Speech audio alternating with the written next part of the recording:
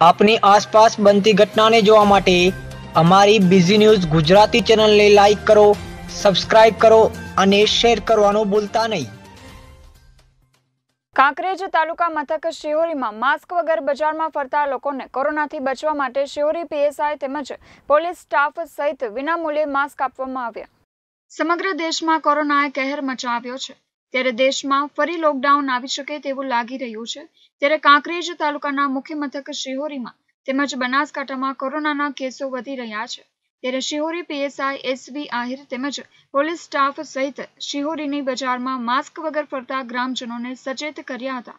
તેમજ દરેકને માસ્ક ફરજિયાત પહેરવું તેવું સમજાવ્યું હતું અને શિહોરીમાં કોરોના સંક્રમણ રોકવા શિહોરી પીએસઆઈ એસવી આહિરની મુહિમ સરકારની સૂચના મુજબ ફરજિયાત માસ્ક પહેરવું તેવી સમજણ આપી, તેમજ માસ્ક વગર ફરતા લોકો સામે કાર્યવાહી કરવામાં આવશે.